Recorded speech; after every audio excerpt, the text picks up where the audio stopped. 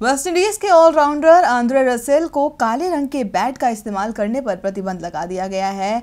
Big Bash League में Sydney Thunders की ओर से खेल रहे रसेल ने सिडनी सिक्सर्स के खिलाफ काले बल्ले का प्रयोग किया था, जिस पर क्रिकेट ऑस्ट्रेलिया यानी सीए ने काले बल्ले पर प्रतिबंध लगा दिया है। वही बताया जा रहा है कि रसेल द्वारा इस्तेमाल किया गया काले रंग का बल्ला बीबीएल के प्लेइंग कंडीशन के अनुसार ही था।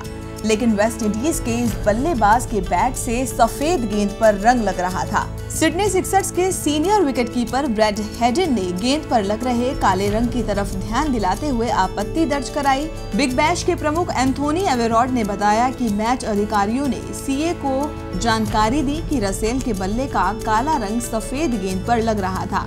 इसी के चलते हमने आंद्रे रसेल को इस बल्ले के इस्तेमाल के लिए दी गई अनुमति वापस ले ली।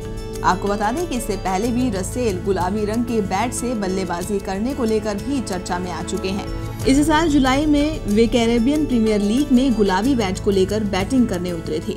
वेस्ट इंडीज के खिलाड़ी कुछ अलग अंदाज के लिए हमेशा से ही सुर्खियों में रहते हैं। हालाँकि सीए ने ही पहले रसेल को इस बैट के उपयोग की इजाज़त दी थी, लेकिन बाद में अपने फैसले को वापस ले लिया। वहीं अब बहस छिड़ गई है कि रसेल ने नियमों का उल्लंघन किया है या नहीं। देखते रहिए डीबी लाइव।